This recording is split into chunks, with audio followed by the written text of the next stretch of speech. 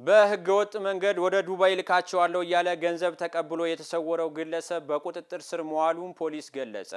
ዋና ሳጅን ዘላለም አበበ ዝርዝሩን አዘጋጅቶታል፣ እንደሚከተለው ያቀርበዋል። ግለሰቡ በቁጥጥር ስር የዋለው በአዲስ ከተማ ክፍለ ከተማ ወረዳ ሰባት ልዩ ቦታው አውቶቢስ ተራ አካባቢ ነው። ተጠርጣሪው ምንም አይነት ህጋዊ ፍቃድ ሳይኖረው ወደ ዱባይ እልካቸዋለሁ በማለት ካታለላቸው የግል ተበዳዮች መካከል አግኝተን ያነጋገርናቸው ወጣቶች ከዚህ በፊትም በርካታ ሰዎችን ወደ ውጭ ሀገር ይልክ እንደነበረ በማሳመን ገንዘብና ፎቶግራፋቸውን ከተቀበላቸው በኋላ እንደተሰወረባቸው ተናግረዋል።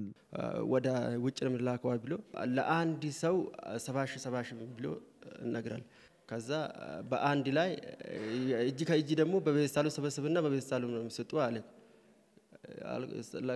ከዛ ለአንድ ሰው አምሳ አምሳ አንድ ቀን ማለት ነው ስድስት መቶ ሺህ ነው የሚሰጣ ብያ ላስንጌሰ ነው እንጀዴ እና ብያ ላስንጌሰ ላይ ብሪ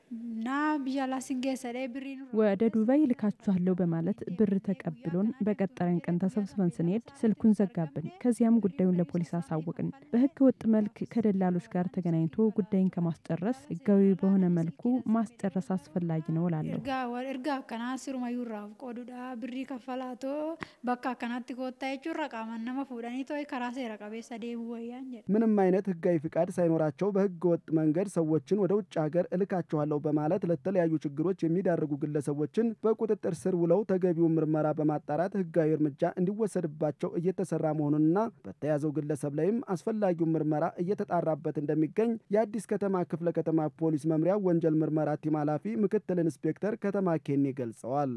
ገንዘብ በመቀበል ወደ ውጭ ሀገር ዱባይ ይልክሻለሁኝ ቪዛ ይመጣልሻል በማለት ጉርድ ፎቶግራፎችንና ፓስፖርት በመቀበል በ cash በእጅና በራሱ account ይህን ገንዘብ ከተቀበለው በኋላ የተሰወረበት ሁኔታ ነው ያለውና ይህንንም ያው እኛ መረጃው ከደረሰን በኋላ የምርመራ ቡድኖችን በማቋቋም ከክትትል ክፍላችን ጋር በጋራ በመሆን ተጠርጣሪውን በቁጥጥር ስር ውሎ ምርመራ እየጣራንበት ያለንበት ሁኔታ ነው ያለው። በማንኛውም ሁኔታ ህብረተሰቡ አጭበርባሪዎች እንዳሉ ተገንዝቦ የተጠየቀውን ገንዘብ ቀድሞ ሳይከፍል ህጋዊ መሆኑን ማረጋገጥና አጠራጣሪ ጉዳይ ከሆነ ደግሞ ለፖሊስ ማሳወቅ እንደሚገባ ምክትል ኢንስፔክተር ከተማ ገልጸዋል። ማህበረሰባችን አንደኛ ወደ ውጭ ሀገር የመሄድ ፍላጎት ካለ በህጋዊ መንገድ ቢሮ ከፍቶ የሚሰሩ ኤጀንሲዎች በትክክል ማግኘት አለበት። ከዛ ውጭ ደግሞ ይሄ ጉዳይም ተፈጽሞ ከሆነ ደግሞ ምንም ለነገ ሳይባል በወቅቱ ሰውየው ሳይጠፋ ለሚመለከተው የጸጥታ አካላት መረጃ መስጠት መቻል አለበት።